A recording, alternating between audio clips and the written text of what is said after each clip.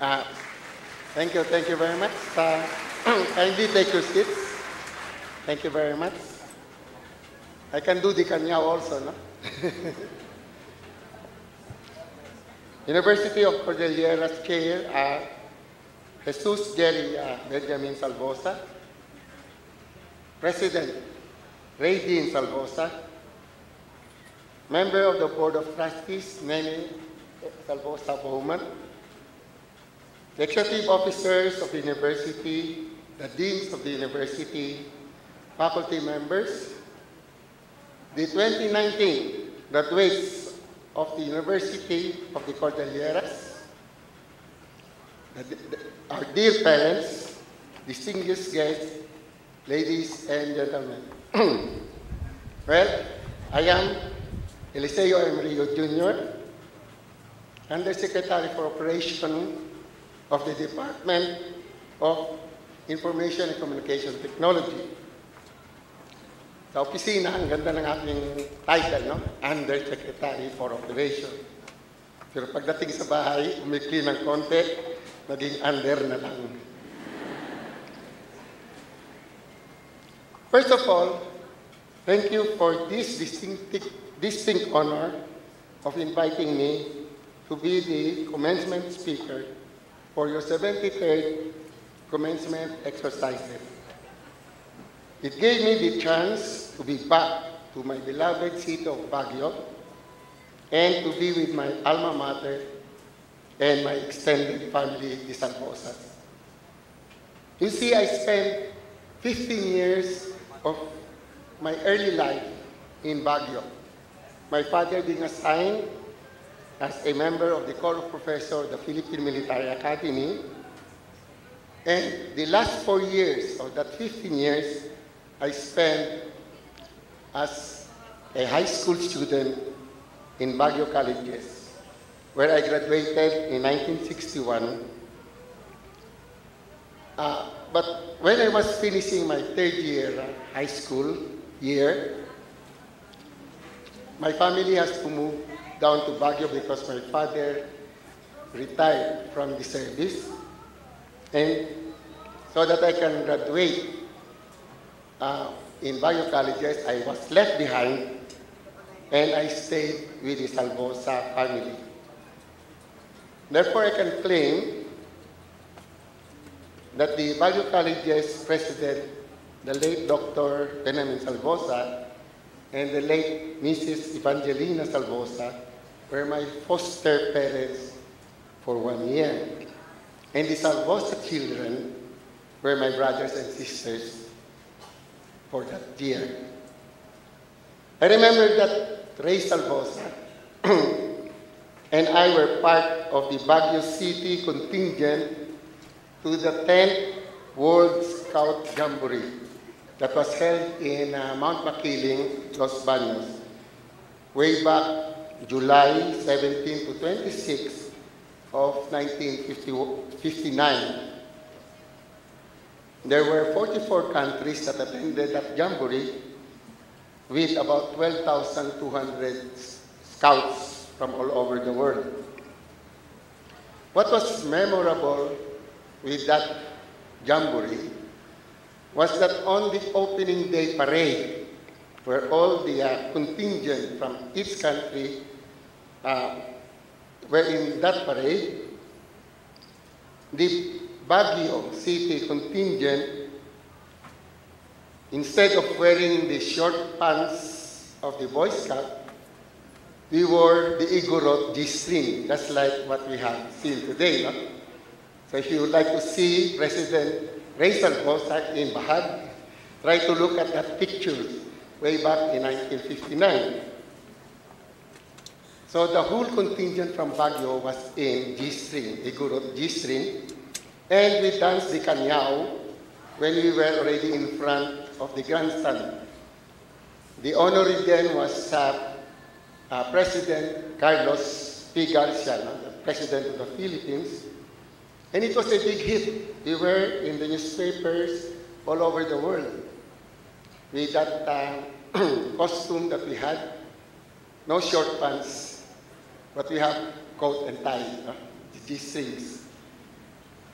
However, I remember, I don't know if Ray remembers this, the priest from uh, St. Louis University came down and pulled out all the uh, scout participants of the University of St. Louis, St. Louis University because of indecent exposure. well, we see that around now, and there is nothing indecent about it. It is a cultural uh, pride that we have here in Baguio City. That four years I spent in Baguio Colleges High School, especially that one year that I stayed with the Salvosa family, molded my life to what it is now. I saw firsthand how the late President Dr. Benjamin Salvosa pursued this vision in making Baguio Colleges as a beacon of higher education, not only in Baguio, but in the Cordillera region. When I was assigned in the academic group of the Philippine Military Academy, year uh, 1970 and 1972, Baguio Colleges was then a foundation, and it was already staying in this uh, building that we have now. I spent around two years as evening class instructor in the Baguio Colleges Foundation after office hours in PMA as my way of giving back to my alma mater for its valuable contribution to my future life. To the 2019 graduates of the University of Cordilleras, you are now facing the future. When you wake up tomorrow, it will be the first day of the rest of your life. It will be the first day of the rest of your life. The university has prepared you for that future. And whatever that future will be, the generic of the university is imprinted and in your soul and will always be with you. As a government official in the newest department of the government, the Department of Information and Communication Technology, which is just three years old, allow me to present how the ICT will help graduates in your future. Whatever your educational degrees, your profession, your future life, information and commu- communication technology or ICT will be a disruptor in your professional field. We are now in the fourth industrial revolution, the age of information. It is the oncoming convergence of smartphones, robotics, artificial intelligence, internet, big data, 3D printing, biotechnology, and quantum computing. As a background, the first industrial revolution began in Europe from the 18th to the 19th century, following the mechanization of agriculture and industrial production as the consequence of the invention of the steam engine. Steam engine moved from manual labor of human and animals to a mechanic, mechanized, mechanic, mechanized uh, procedure, which is the steam engine. The second industrial revolution followed in this, uh, also in the 19th century and continued up to the 20th century with the invention of the internal combustion engine, harnessing carbon energy or petroleum that made possible the rapid deployment of transport, and the widespread use of electric power. The third industrial revolution, also called the digital revolution, ushered the use of computers, the internet, and the rapid adoption of information and communication technology. The use of computers has really disrupted our life. There is no aspect of activity in the human uh, in the human life that does not use computers. No? And the fourth industrial revolution is a continuation of that. In the third industrial revolution, we were using computers mostly as standalone. But in the fourth, we are going to use it as connected devices. So we have the internet connecting our computers, and now they are small. Our computers are now small, as small as a smartphone that you can carry in your hand. The fourth industrial revolution is building on the infrastructure of the third and is characterized by a fusion of technologies. That is, blurring the lines between physical, digital, and biological skills. And the fourth industrial revolution is evolving much faster than the first, second, and third at an exponential rather than a linear pace. It is disrupting almost every industry in every country. And it transformed entire system of production, management, and governance. Is the Philippines ready for the fourth industrial revolution? Sadly, much has are needed to be done. And this is the focus of the Department of the ICT, to fast track our country to embrace this revolution to make the Philippines competitive with other countries. The ICT priority is to improve the Philippine information infrastructure, or what we call the infrastructure. We are one of the countries with slowest internet speed and most costly internet access. We have done the following to improve our situation in our department. First, we allow the entry of a third major telco player to provide healthy competition among the players in the telecom industry and to improve telecom uh, services and reduce costs of subscription. The third player, whose name is uh, Dito Telecommunity, used to be a is now rolling out their network and will begin commercial operation by the middle part of 2020. Second, we entered into a memorandum of agreement with Facebook to provide 2 terabits of bandwidth capacity to the country. If you compare 2 terabits, Globe has an overall capacity of about 4.2 terabits, so that's about one half uh, capacity of Globe and about uh, one-third capacity of that of PLDT Smart. For the first time in our history, our government will put up two cable landing stations, one in Baler Aurora facing the Pacific, and another in Poro Point facing the West Philippine Sea.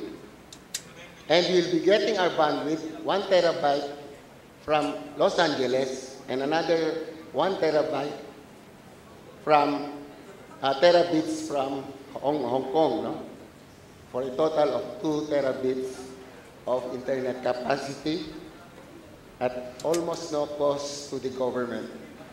And this is the bandwidth that we are going to distribute all over the country in terms of our free Wi-Fi, in putting up, especially in putting up fast internet uh, access to all institutional education so that our graduates will be ready for the fourth industrial revolution. And I promise, President, that we will start with the University of Cordillera.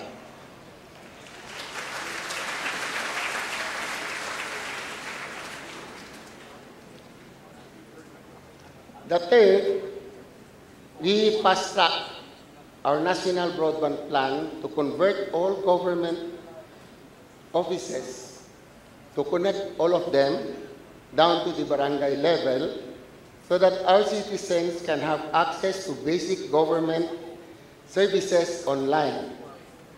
Our citizens can go to the nearest barangay hall to get online business permits, NBI clearance, passport renewals, driver's license renewals, so on and so forth. Fourth, making it easier for our citizens to access the internet by installing free Wi-Fi hotspots all over the country in public places as mandated by the Free Wi-Fi Law or the RA 10929. This will help the economy a lot. Tourism, especially, I, I think you have read in this paper that one thing that our tourism industry needs to attract foreign foreigners is connectivity to the internet. No? Foreign tourists does not mind if they cannot take a bath or the bed is not so comfortable as long as they have connectivity with the internet. And we will be putting internet connectivity in these uh, spots that doesn't even have any signal from the commercial telecommunication companies. Also, in uh, places where there are uh, uh, fisher folks, no? once they uh, come in early dawn with their cats, they can simply take a picture of their cats upload it to the internet, and it will be available to all market who can now go to them and buy their cats for the day. Also, our farmers, vegetable farmers, especially in the mountain province area where there are no signal, have a hard time in uh, marketing their vegetable products, their strawberries, and so on and so forth, because they have to go to the market, and when they go there, then they find they also find out that there are no uh, cons consumers for them. No? But if they can communicate, then this will save them a lot of time and money. And there are success stories also. No? For example, in the fourth class municipality of uh, Dimas Dimasalang, in Masbate, where the ICT put up fast access to the internet. Residents there are earning up to 200,000 pesos a month, creating websites for foreign clients, teaching English to Koreans and Japanese students, medical transcription, and other business that are done through internet. No?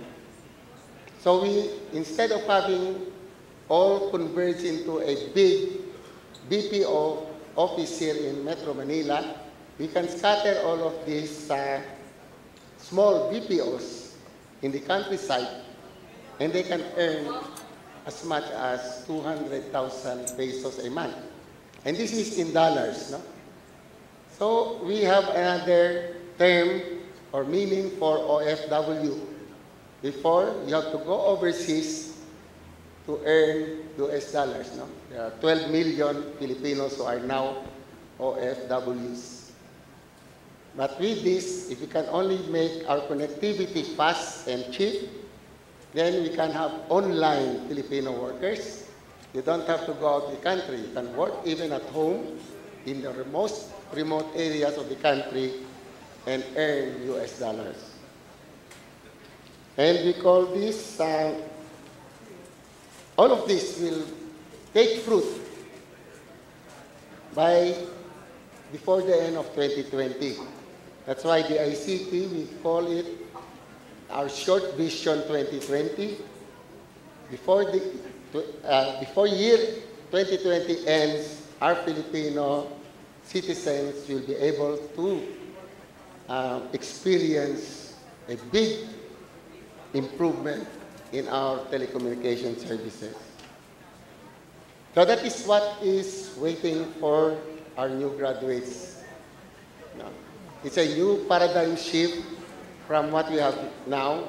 It would be as if uh, in the third industrial revolution, we have to uh, make sure that we can handle a computer. Now, it's not enough just to uh, handle a computer, but you must be able to know how to connect your computer, your ideas in that computer to somebody who will need it, no? and then pay you a corresponding amount for that. And whatever jobs you will have in the future, this will be something that will really uh, make you more attractive to job seekers. No? Your ability to be able to use the computer not only as a typing, uh, as a typewriter, but actually to use it to provide more productivity for yourself, for your company, for your country. So I wish you all good luck. Godspeed to UC Class 2019. You are bound for glory. Thank you very much.